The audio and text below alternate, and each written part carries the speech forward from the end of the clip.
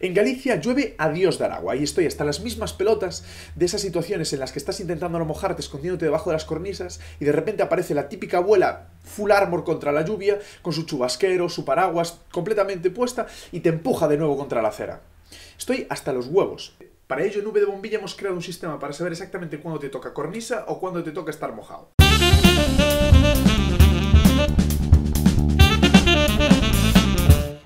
El sistema es un sistema muy sencillito de puntuación en el que a más puntos, más razones para estar seco y que se basa en tres criterios. El primero depende de si llevas algo que te cubra la cabeza. De esta manera no llevar nada serían tres puntos. Llevar un sombrero cualquiera serían solo dos puntos. Un sombrero de estos de pescador sería un punto y llevar paraguas sería menos un punto. Como no tengo paraguas, utilizaré utilizaré una escoba Mención especial a los intrépidos que utilizan bolsas de la compra para protegerse, aunque lamentablemente no les da ningún punto. El segundo criterio es el tipo de ropa que llevas. Así, una persona en camiseta tendría tres puntos, una con una cazadora o chaqueta no preparada para el agua 2 y una con un chubasquero solamente un punto. El último criterio es la edad.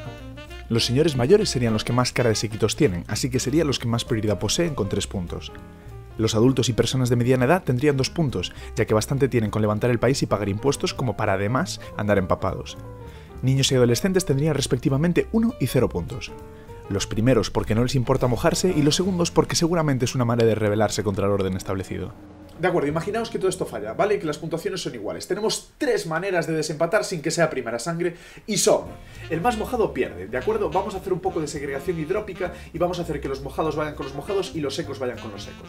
¿De acuerdo? Si tú estás mojado y yo estoy seco, o yo estoy seco y tú estás mojado, es preferible que solamente haya un resfriado donde podría haber dos. ¿De acuerdo? Además no queremos que nos llamen comunistas porque que los dos vayamos igual.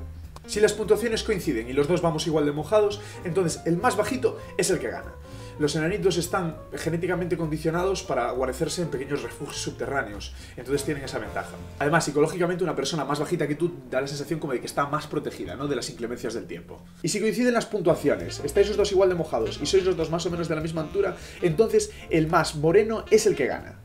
Principalmente porque el pelo rubio se oscurece con el agua, mientras que el pelo negro no pasa a ser un negro más negro, sino que simplemente se queda como está, con lo cual da una sensación como de menos mojado. Y si coinciden las puntuaciones de ropa, estás igual de mojado, mides la misma altura y además tienes el mismo tono de pelo, lo más probable es que acabes de salir de la ducha y te estés mirando al espejo. Gilipollas. Así que no necesitas esto. ¿De acuerdo? Así que ya sabéis, aplicad este método. Y si resulta que tenéis la prioridad y una señora aún así os baja el paraguas y os corta el paso, entonces le dais una hostia y le mandéis el link de este vídeo.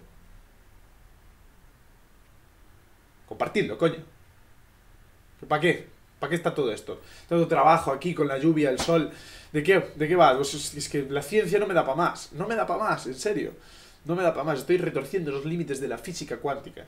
La física cuántica. ¿Tú sabes lo difícil que es conseguir que las señoras entren en la teoría de cuerdas? ¿Qué cojones de la macrofísica y microfísica? Las señoras rompen las leyes de la física constantemente constantemente, igual que rompen las colas del súper o hacen las croquetas como les sale de los cojones, o van ahí con las varillas del paraguas buscando los ojos de la gente ahí. Parecen putos samuráis con el paraguas, joder. Putos samuráis parecen.